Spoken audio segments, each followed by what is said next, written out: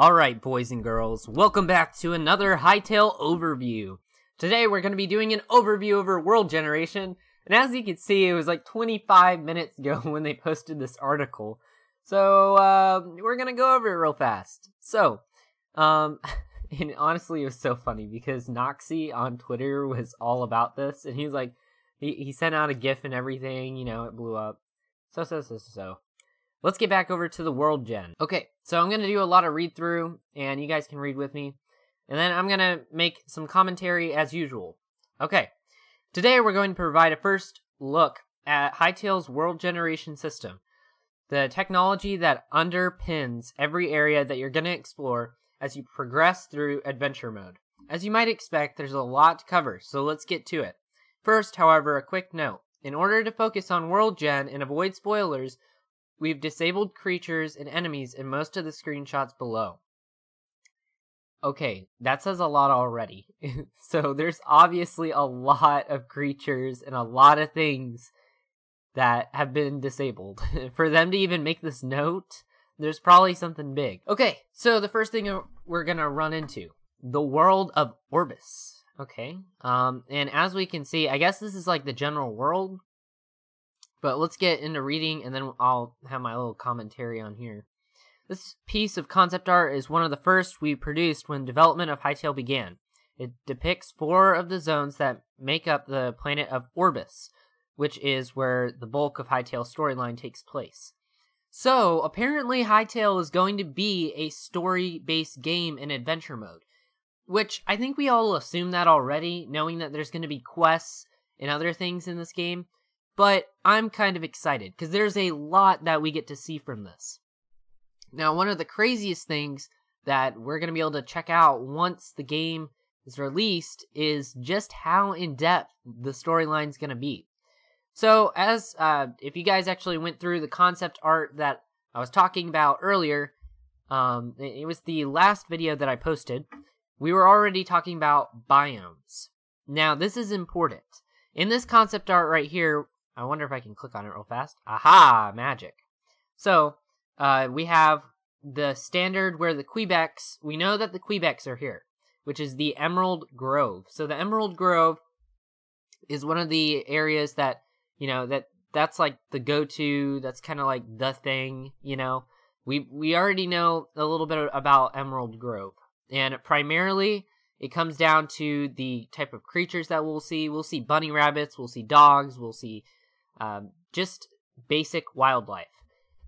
Also, um, I'm not sure if you guys can see, but that looks very, very similar to the dungeon with the goblins in it that we were able to see during the trailer. I don't know if you guys remember that, but but that is uh, very similar. And then we have the Howling Sands with the Ferans. The Ferans are the floppy deer, you know, desert-dwelling animals but they're also creatures similar to the Kweebecs.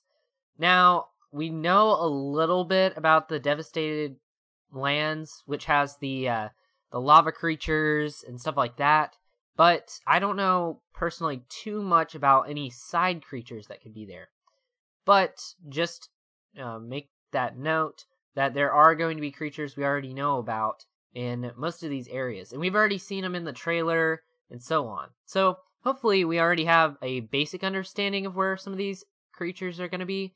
And I'm definitely going to have to do like a rehash on what the Emerald Grove, Howling Sands, the Borea, and Devastated Lands has. Because well, I know most of the NPCs that are going to be in those locations. And I feel like it's going to be important. So let's just take note of this for now. Generating a zone. Here's an example of a zone-based world generation in action. You're looking at a top-down view of Zone 1 comprising of several different biomes forests, lakes, hills, ravines, and more. So just because of that one section, so they're divided into zones versus what we thought about them being biomes. So each one is its own zone. So zone one, which is the Emerald Grove. So we have the Emerald Grove.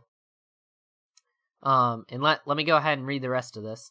Our world gen system ties these together seamlessly along the topographical features like ponds and rocky outcrops, which you can also see a handful of generated points of interest, which is awesome. So, if we actually think about Minecraft's generation, which is kind of different, and I think you guys can kind of see that it makes more sense in Hytale's generation.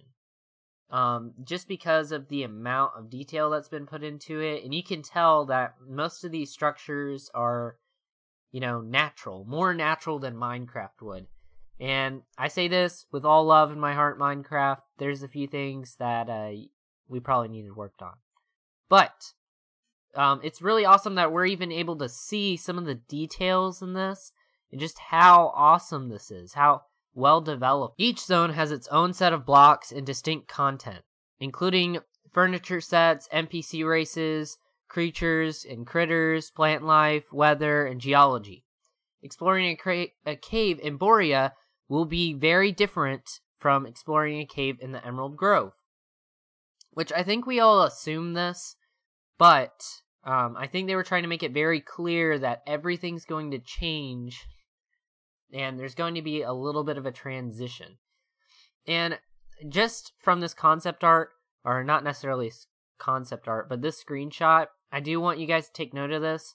There isn't much of a transition from, you know, this side to this side. However, the tree types are very similar and I'm pretty sure this is Borea. I'm not sure if the whole thing is Borea, but if anything, this would be um, Borea or Zone 3, and this would be Emerald Grove Zone 1. So just keep that in mind, and we'll have to take a look at this in the future. Okay, so then they kind of just threw this over here just to show kind of how the furniture trend is supposed to go.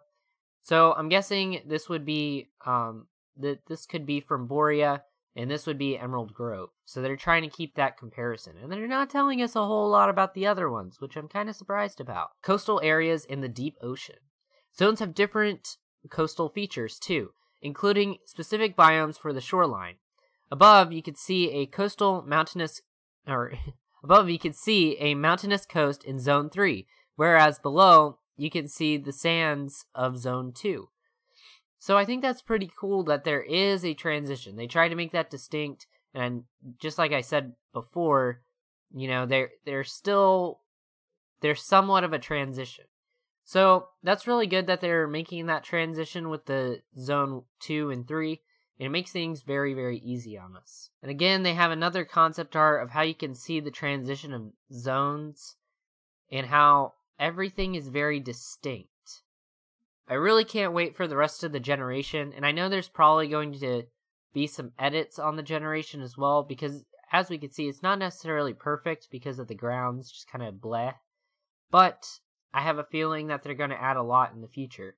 And they keep on teasing us with a lot of these structures, so I can't wait to see those in the game too. These unique world gen elements continue underwater, which with secrets to find if you're brave enough to venture beneath the waves. And they've already talked about scuba diving gear, and we already have that in the trailer when it was referenced. And we have our puffer fish. Oh, the dear puffer fish. But um, we do have a lot of things that we get to check out, and we're already getting teased with structures. Again, I really want to see the structures, Hytale. That's not all, however. Venture far enough from land and you'll encounter the ocean shelf, a sudden drop off at the edge of each zone that leads to the deep ocean. The deep ocean is, effectively, a zone all by itself. It holds many dangers and rewards for intrepid explorers to discover. You'll have to prepare carefully in order to survive in the depths. So, this is probably going to be a late game thing, but I'm guessing there's going to be a lot of not necessarily boss battles. Although the Kraken has already been eh, semi confirmed because they speak so much on the oceans and it has a concept art all to itself.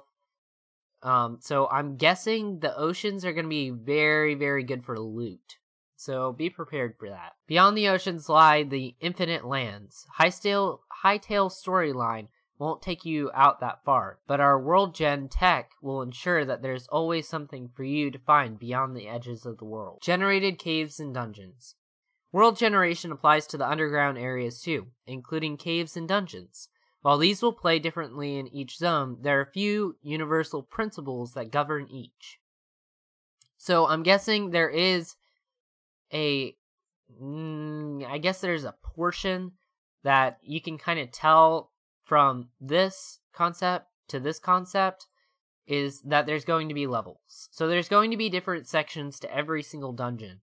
And it, that's kind of one of the basic principles that they're talking about.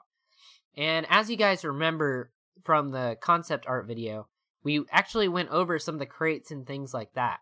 And as we could see, there is a lot of loot up here. A lot of potential loot.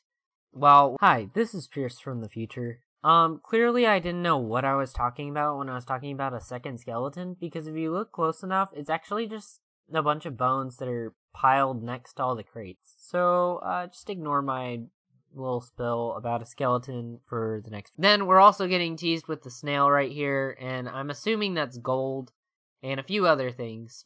But I'm really excited to see the rest of the generation. Caves are full of secrets and creatures to encounter and will be an important source of resources. They are entirely they are entirely procedurally generated based off of rules that differ from zone to zone.